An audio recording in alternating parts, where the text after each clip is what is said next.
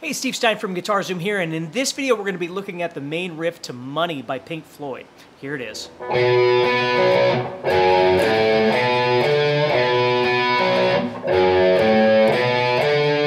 So what we're doing there is making a B power chord on the fifth string. We're playing two, four, and four.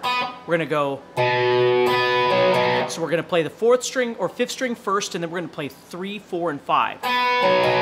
So then we're going to play kind of a pentatonic shape here. We're going to play 2 5, 2 5, and then we start all over again. So we have.